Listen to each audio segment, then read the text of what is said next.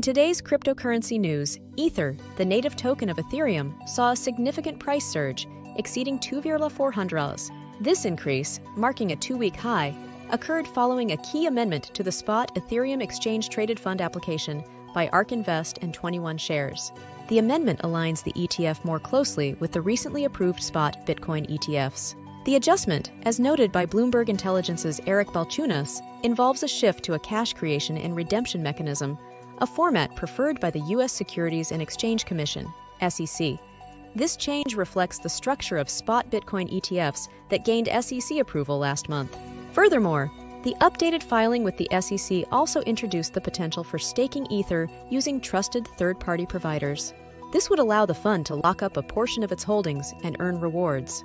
The impact of these developments was immediate on Ether's price. Within an hour of the announcement, ETH's price rose by nearly 2%, breaching the 2,400 mark for the first time since January 22nd.